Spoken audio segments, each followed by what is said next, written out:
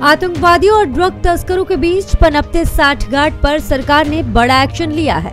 दरअसल आज एनआईए ने भारत और विदेशों में स्थित आतंकवादियों गैंगस्टरों और ड्रग्स तस्करों के बीच उभरते साठ घाट को खत्म करने के लिए पंजाब, हरियाणा, राजस्थान और दिल्ली एनसीआर क्षेत्र में कई ठिकानों पर छापेमारी की।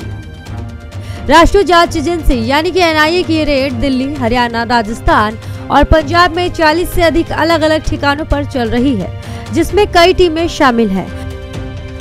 हालाँकि अब तक इसमें गिरफ्तारी या जब्ती को लेकर कोई जानकारी सामने नहीं आई है। इससे पहले 14 अक्टूबर को जाँच एजेंसी एनआईए ने ड्रोन डिलीवरी मामले में जम्मू कश्मीर के पुंछ ज़िले स्थित कई स्थानों पर तलाशी ली थी। एनआईए के मुताबिक इस मामले में अब तक किसी को हिरासत में नहीं लिया गया।